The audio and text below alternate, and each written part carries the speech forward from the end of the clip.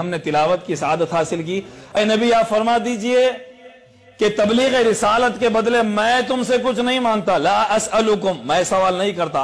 इल्लल मवद्दत fill कुर्बा, सिवाय इसके कि मेरे कराबतदारों से मोहब्बत करो। मेरे कराबतदारों से मोहब्बत करो। सहाबा किराम का हम पर एहसान यह है कि उन्होंने सवाल करके मसला हल कर दिया। वरना दुश्मन अली कोई ऐसा हीला करता कि उससे पंजतन को अलग कर दिया जाता। सहाबा का एहसान है कि उन्होंने सवाल करके उकदा कुशाई कर दी। मन कराबत कहा उलादीना वजबत अलैना मवद्दत या रसूल अल्लाह ये आपके कौन से कराबतदार हैं जिनकी मोहब्बत हम पे लाजिम की जा रही है? अलैना, किस पर? सहाबा पर लाजिम की गई। सहाबा से लेकर कयामत की उम्मत पर यह मोहब्बत वाजिब की जा रही है। आज साहबा अहले का तकाबुल करने वालों से हम दावत फ़िक्र देते हैं कि बाबा, तकाबुल नहीं। यहाँ इनकी मोहब्बत इन पर फ़र्ज़ की जा रही है। पंजतन की मोहब्बत सहाबा पर लाजिम की जा रही है।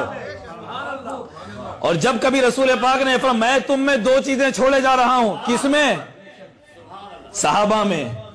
ऐ मेरे सहाबा, मैं तुम में दो चीज़ें छोड़े जा रहा हूँ। जब तक तुम उन्हें थामे रहोगे, तुम गुमराह नहीं हो सकते।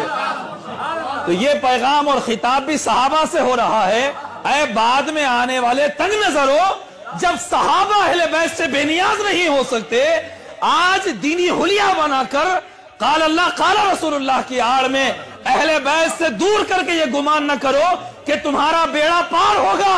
बेड़ा तो एक ही नबी ने दिया है और वो बेड़ा अहले बैत का दिया है।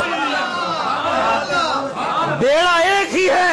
मसल अली बैती का सफी नो अरे सुनो, तुम्हारा जो बेड़ा है वो अली है। तुम्हारा जो बेड़ा है वो हुसैन है। तुम्हें जिस बेड़े में बैठकर नजात पाना है, वो हसन, हुसैन और फातिमा और मेरी अहले बैत है। इनकी नस्बत से तुम्हारा बेड़ा पार होने